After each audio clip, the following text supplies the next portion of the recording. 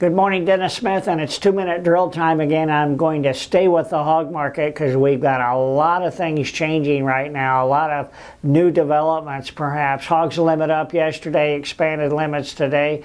They're trying to stretch their legs again today. They went right up to the uh, last week's high in the August, and if they take that level out, they should be able to run for a while.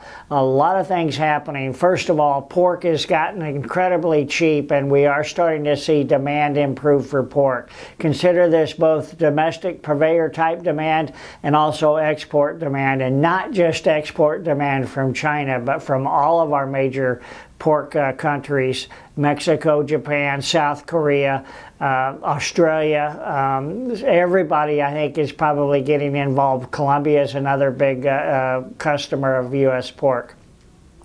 So the, the trend is changing. Beef sources are telling me that beef is losing demand right now because pork has gotten so cheap. This is a real important development. News out of China, a Reuters report out of China, the government has indicated they are preparing to roll back tariffs and to do some other things to try to stabilize their trade.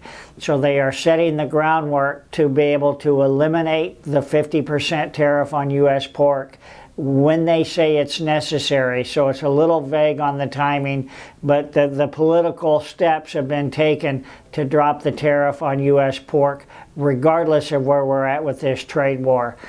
This market's getting heated up. I look for upside follow through.